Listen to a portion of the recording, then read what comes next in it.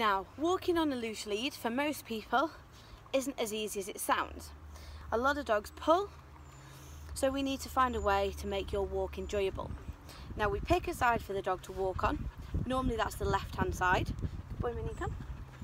That means that when you're walking with other people and dogs, there's always a person in between uh, the two dogs. Good boy. So I've got plenty of treats, which is Minion's favourite thing. Now you'll see I'm going to talk to him a lot. As soon as he looks at me, as soon as he gives me his attention, I'm going to reward him.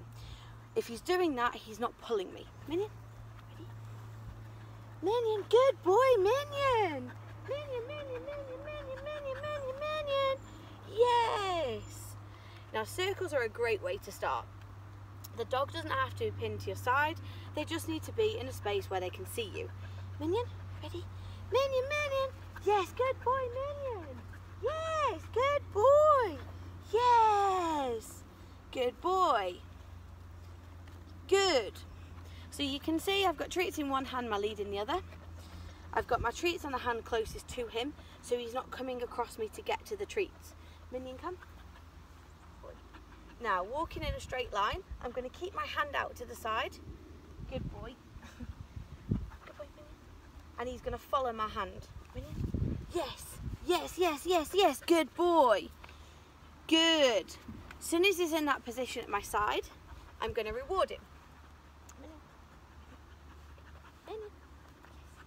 Yes.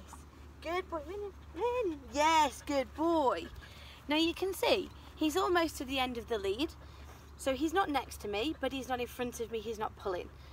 That's all we look for on a loose lead, is that the dog can walk with you without pulling. Minion.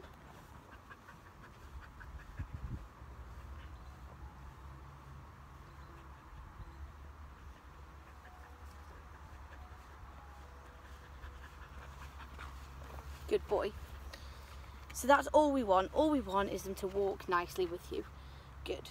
They don't have to be pinned at your side for competition heel work. That's not what we're looking for. Just a nice, gentle walk out with your dog that you can enjoy with them on the lead. Good.